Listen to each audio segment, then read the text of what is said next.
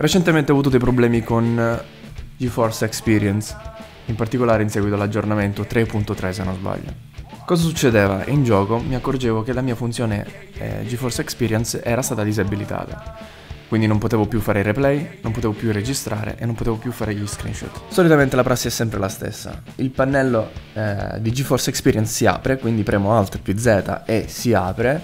Fuori dal gioco, quindi sul desktop magari, eh, funziona, viene attivata, ma nel momento in cui apro il gioco si disabilitava automaticamente. E allora mi informo, leggo, vedo video, eh, visito forum, spulcio le impostazioni di Nvidia per assicurarmi che sia tutto ok, ma ancora il mio Nvidia GeForce non funziona. GeForce Experience non funziona, non voleva rispondere. E poi, grazie anche all'aiuto del mio moderatore root, sono riuscito a venirne a capo momentaneamente, quindi potrebbe essere una soluzione anche per voi. Cosa facciamo? Chiudete tutto, si riparte da zero, andate su Start e cercate Servizi. Scendete giù e cercate fino a Nvidia.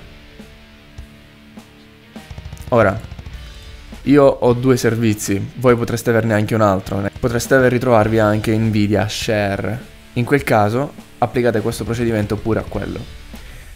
Cosa ho fatto? Destro, riavvia. Prima uno, destro, riavvia.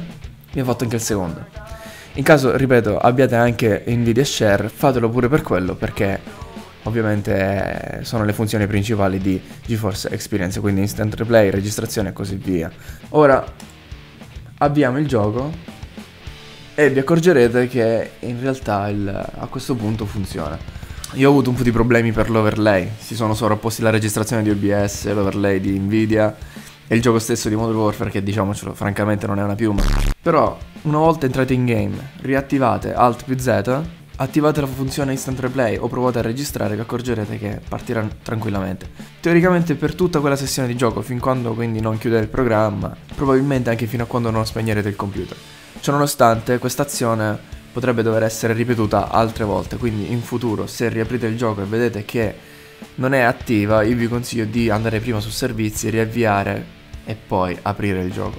Ad ogni modo questa era la mia, insomma, la mia soluzione momentanea, spero che sia un buon, un buon cerotto momentaneo, fino a quando Nvidia prima o poi, si spera, fixerà questo problema anche sugli update a venire.